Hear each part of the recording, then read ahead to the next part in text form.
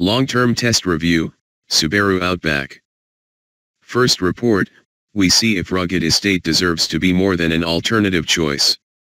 Verdict. 4 star. At first glance, the Outback appears a little utilitarian alongside more upmarket models such as the Audi A4 Allroad. But spend a little time with it and the car's engineering integrity and quality shine through.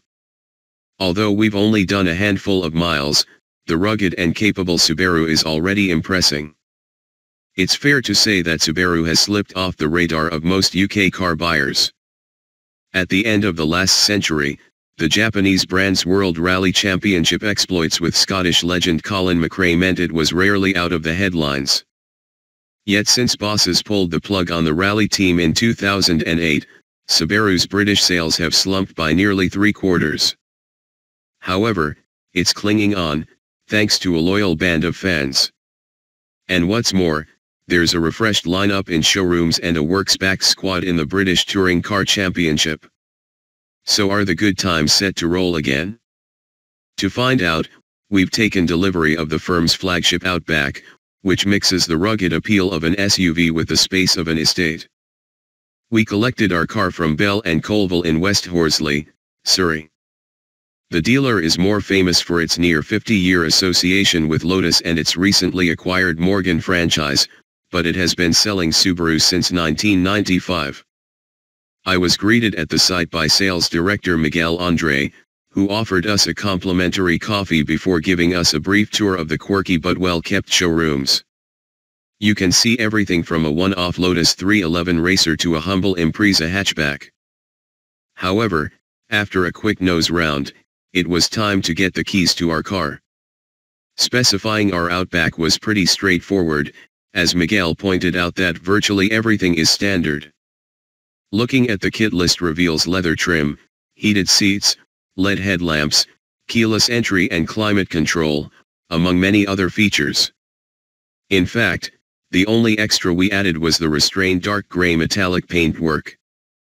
One option we'd have liked was the tan leather interior we spotted on a similar Outback in the Bell and Colvill showroom, although Miguel explained this had been a special order and took six months to arrive.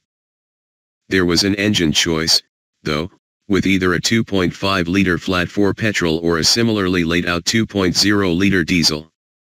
No other manufacturer in the world offers this type of diesel, so it made sense to see how it stacks up against more conventional rivals. The Boxer is hooked up to a Lineartronic CVT gearbox, and as with all Subarus, power is delivered through the brand's trademark symmetrical four-wheel drive transmission. Other highlights include the EyeSight system, which uses a pair of cameras on either side of the rear view mirror to deliver adaptive cruise control and lane departure warnings. Miguel also ran us through the infotainment system, which is controlled via a 7-inch touchscreen and features crisp graphics and a logical layout.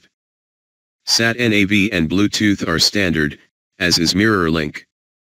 While DAB isn't included, Subaru's Starlink setup gives you access to a wide variety of internet radio stations via your smartphone.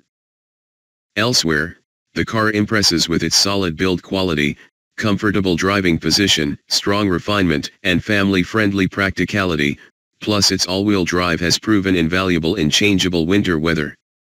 It's early days, but the Outback is already showing that Subaru deserves to be taken seriously once again.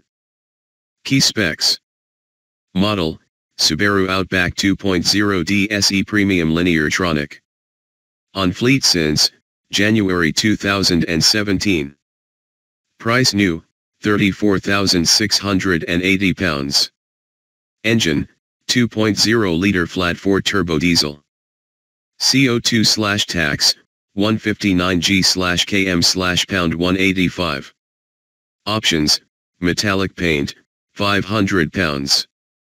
Insurance asterisk, group, 19 quote, 425 pounds. Mileage slash MPG, 2,495 slash 40.4 MPG. Any problems, None so far.